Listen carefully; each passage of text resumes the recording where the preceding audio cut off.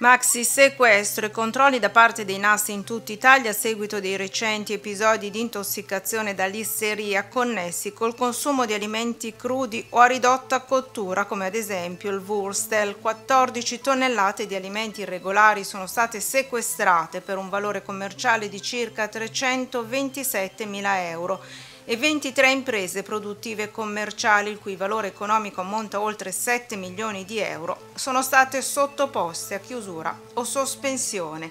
tra le criticità riscontrate è stato rilevato l'uso di materie prime scadute e di validità in cattivo stato di conservazione e la mancata applicazione delle procedure preventive di autocontrollo e tracciabilità degli alimenti, elementi essenziali per individuare e contenere possibili casi di intossicazione causati dal consumo di alimenti nocivi o pericolosi Trovati inoltre muffe sulle pareti dei locali destinati allo scarico merci con potenziale rischio di contaminazione degli alimenti.